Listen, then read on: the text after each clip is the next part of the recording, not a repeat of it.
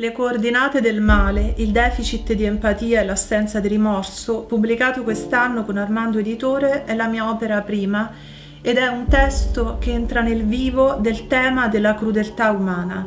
Criminali si nasce o si diventa? Qual è l'origine del male? Che cosa spinge gli esseri umani a mettere in atto azioni crudeli, efferate, spesso senza motivazioni profonde? Questo testo oscilla tra amarezza e speranza, la speranza di poter in qualche modo intervenire sull'autore di reato, rieducarlo, e l'amarezza di un campo d'ombra ineludibile e insondabile su cui non è possibile operare alcun cambiamento.